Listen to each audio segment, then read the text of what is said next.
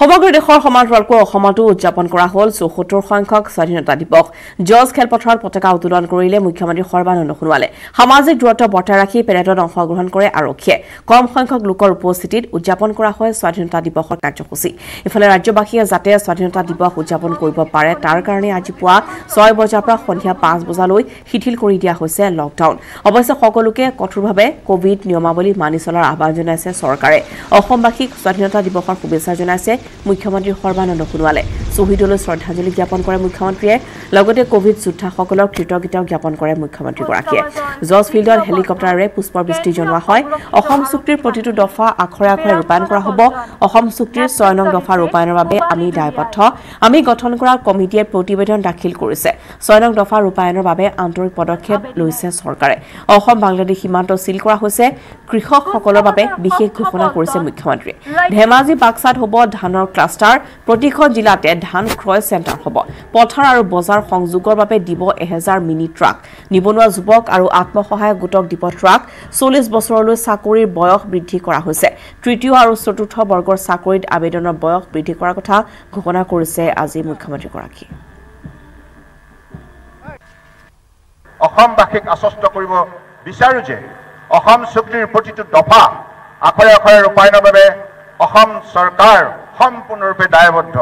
সেয়েহে অসম চুক্তি ৰূপায়ণে এখন বিদেশীমুক্ত অসম গঢ়ি তোলাৰ বাবে আমি আন্তৰিকতাৰে পদক্ষেপ লৈ আহিছোঁ।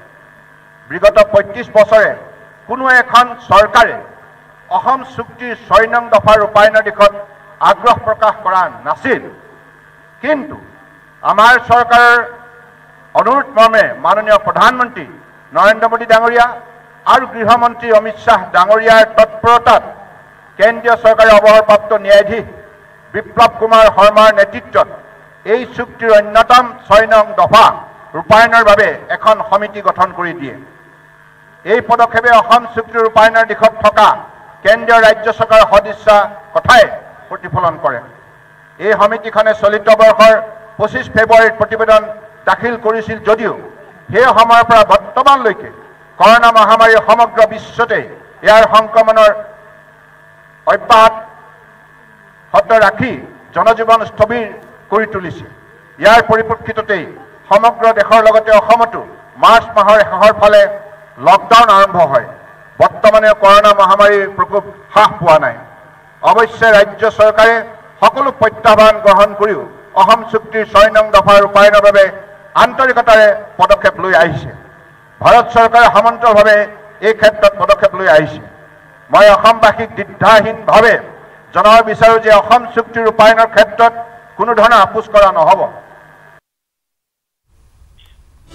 ৰাজ্যৰ নিবনুৱাসকলৰ বাবে দিলে এটা সুখবৰ চল্লিছ বছৰলৈ চাকৰিৰ বয়স বৃদ্ধি কৰা হৈছে। তৃতীয় আৰু চতুৰ্থ বৰ্গৰ চাকৰিত আবেদনৰ বয়স বৃদ্ধি কৰা হৈছে। স্বাধীনতা দিৱসৰ কাৰ্যসূচীতে কথা ঘোষণা কৰিছে মুখ্যমন্ত্ৰী সৰ্বানন্দ সোণোৱালে।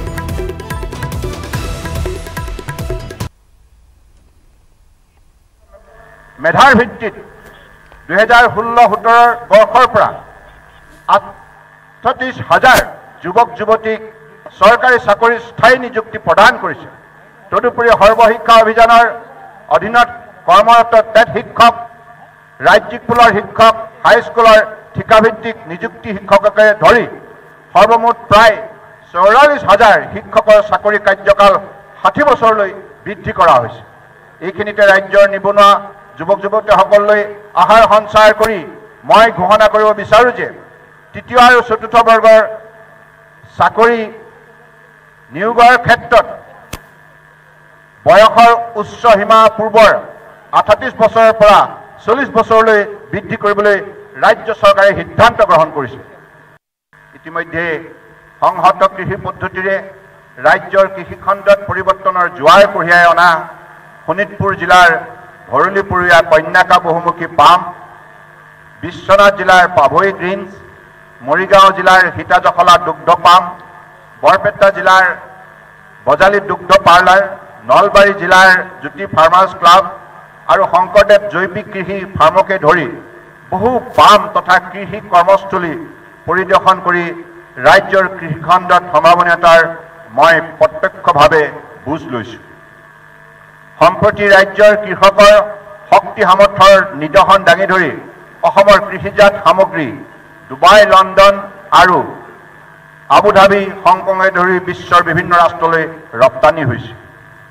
ৰাজ্যৰ কৃষিভিত্তিক অৰ্থনীতিক নতুন গতি দিয়াৰ লক্ষ্যৰে স্বাধীনতা দিৱসৰ এই পবিত্ৰ দিনটোত মই কেইটামান বিশেষ ঘোষণা কৰিবলৈ আগবাঢ়িছোঁ। এক আহু শালি বাঁহ বড়ো আদিকে ধৰি আমাৰ ৰাজ্যত বিভিন্ন প্ৰজাতিৰ ধান উৎপাদন হয়। ৰাজ্যত উৎপাদিত হোৱা এই ধানসমূহৰ এখন বৃহৎ বজাৰ আছে। ৰাজ্যত উৎপাদিত হোৱা এই ধানসমূহৰ এখন বৃহৎ বজাৰ আগন্তুক দিনত অধিক শক্তিশালী কৰাৰ দিশৰ প্ৰতি লক্ষ্য ৰাখি বিজ্ঞানসন্মত পদ্ধতিৰে ধানৰ উৎপাদন বৃদ্ধি কৰিবলৈ আমাৰ চৰকাৰে প্ৰায়োগিক পৰিযোজনা হিচাপে ধেমাজি আৰু বাক্সা জিলাৰ ৰাইচ ক্লাষ্টাৰ স্থাপন কৰিবলৈ সিদ্ধান্ত লৈছে।